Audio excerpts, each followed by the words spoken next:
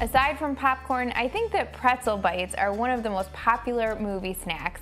And today I'm gonna make some soft pretzel bites that are not only delicious and easy to make at home, but also good for you. So I'm gonna start by making the dough and I'll show you how I made it.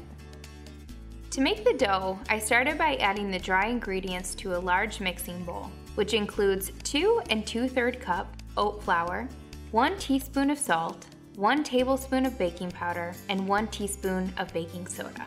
I stirred everything together until it was combined, and then I added two cups of plain Greek yogurt. I mixed everything together until the mixture started to form into a dough.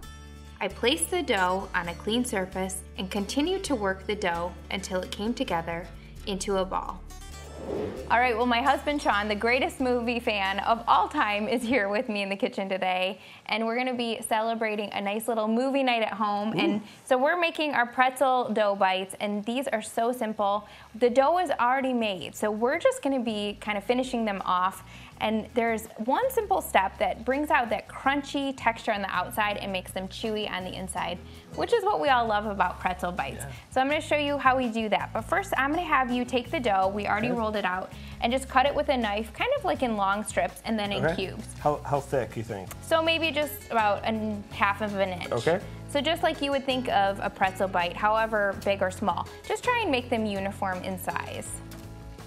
And then when you're done cutting those, then I will dip them into our water. We have eight cups of boiling water here, and we have a third cup of baking soda. So I'm gonna dump this baking soda in the water, and you wanna be careful, you wanna really underfill the pot because it will kind of bubble up a little bit, you'll see here.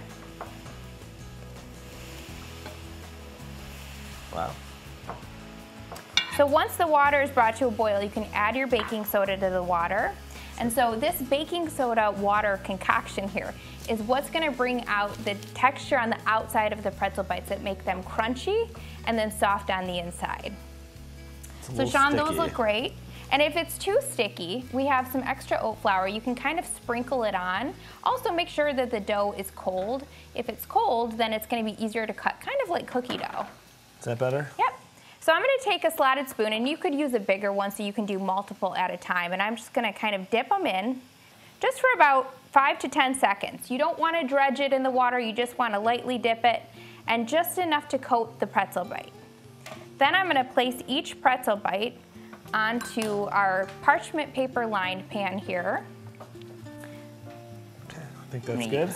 Any type of slotted spoon is great. You don't want them is, to be too wet. Are these ones too big? Nope, those are perfect. Okay. And then, Sean, I'm gonna have you take the egg wash, okay. which is just one egg that's been beaten, and kind of brush just the brush, tops of just these. Just the tops? Just the ones that I've already dipped oh, okay. in the water here. Okay. Yep.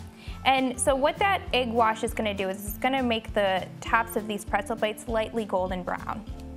Just like that? And that looks perfect. Okay. And then I have some sesame seeds over there. And you can, after you do the egg wash, you can kind of use the sesame okay. seeds do to do all of them? kind of sprinkle them.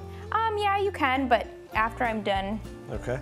Yep, kind of do them as I go. So Sean, you are a huge movie fan, probably the biggest that I know. Yeah. So I got to ask you two important questions. Oh boy. First okay. of all, all of America wants to know, what is your favorite movie? Oh gosh, favorite movie. I only get to pick one. Just one. Like if you could only watch one movie for the rest of your life for all time, what would it be? Uh, that's a really hard question. I, would have to go with probably Castaway. Is that? So you're going with the True Island I'm a theme huge Tom, I'm a, huge, I'm a huge Tom Hanks It's the fan. last movie you'll if, ever if it's watch. the last movie, I can I can relate to him the whole okay, time. Okay, that's so. true. That's a good point. It's a great movie. I know you're wondering what my favorite movie is. I think I might know it, but yeah, I want to hear it. Well, you already know I love Rachel McAdams, yep, or any favorite. kind of romance film. Yeah. Any other any other girls out there understand where I'm coming from? So I would say probably Notebook because it's just a great love story, and I think I cry every single time.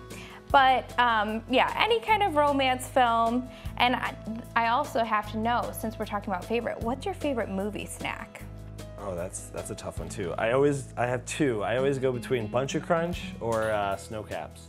And I think mine would probably be the puppy chow that I made earlier that we'll be having in just a little bit. Okay, so I'm gonna have you continue to just top these with sesame seeds until they're all coated. And you could use sesame seeds, you could use everything bagel seasoning if you that sounds good to you.